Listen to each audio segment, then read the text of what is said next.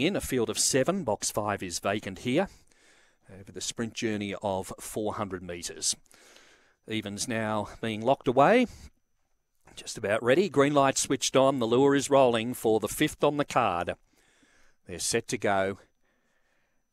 And away and racing, Oh Spolly won the start. The inside, Skartna Diva goes up to second, racing around the outside, Stilton Rush. They're followed by, uh, dropping back now, is Oh Spolly, passed by Flash Socks. They're followed by Monganui Havoc. Back towards the rear, Cindy La Moment. They swing off the back. Stilton Rush has taken over. Trying hard, Skartna Diva as they swing the home turn. Stilton Rush will get home. Skartna Diva second. Third might have gone to Pure Profit ahead of Flash Socks. The head of the rest, Monganui Havoc. Well back, Cindy La O'Spolly in the bunch as well. 23 and 10.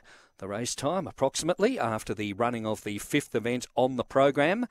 And the numbers about to be semaphored officially, but the favourite gets home, number eight, Stilton Rush. Second placing has gone to number three, Skartnamuck Diva. And third in goes to number two, Pure Profit, over the fourth greyhound number four Flash Socks. 832 for the official placings, 2308 the official.